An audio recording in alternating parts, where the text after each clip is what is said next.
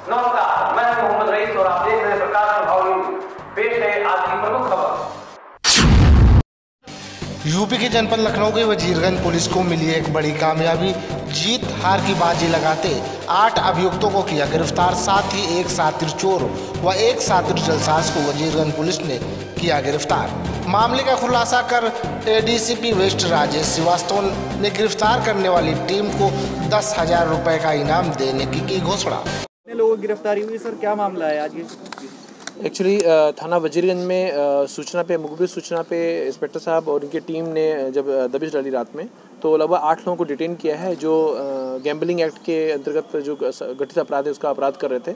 इनको डिटेन किया गया है, इनके पास से करीब साढ़े आठ हज़ार रुपये बरामद किया गया है, और जो जुआ में ये लोग लगाए हुए थे प्लस इनकी जमा लाइसेंस से भी लगभग छः हज़ार रुपये बरामद किया गया है। इनके ऊपर गैम्बलिंग एक्ट की धाराओं के साथ साथ महामारी अधिनियम और एपिडेमिक एक्ट भी भी लगाया जा रहा है। धारा एक सौ अठासी भी लगाई जा रही है, जिससे भविष्य में इस तरह की चीज़ें जो सोशल लेवल हैं, वो डिस्करेज किया जा सके।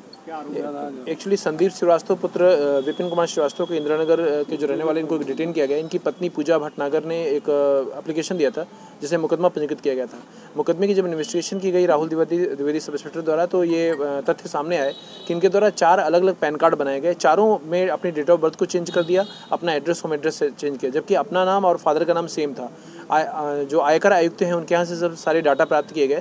तो ये प्रमाणित हुआ कि इनके द्वारा एक के बजाय चार पैन कार्ड बनाए गए और इन चारों पैन कार्डों को अलग अलग बैंकों में देके कहीं से गोल्ड लोन लिया गया, कहीं फाइनेंस कराया गया, कहीं से और सामान लिए गए वैल्यूबल सिक्योरिटी ली गई। इस तरह से गबन किया जाता है कुटरचित दस्तावेज़ बनाकर। एक्चुअली ये छत्ता पुल के पास रोड का निर्माण हो रहा था, जिसमें सरकारी विभाग द्वारा रोड निर्माण किया जा रहा है, जिसमें एक ठेकेदार को इसका कॉन्ट्रैक्ट दिया गया था। जब रात में जो उसके द्वारा जनरेटर अपने केबल इत्यादि छोड़ के जो सुबह से काम फिर स्टार्ट करना होता था तो रात में उसके जनरेटर, उसके केबल तार, उसकी बैटरियाँ ये सब सब चोरी हो गई।